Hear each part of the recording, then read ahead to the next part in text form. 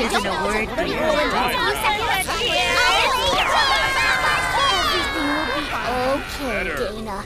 Here, have a cupcake.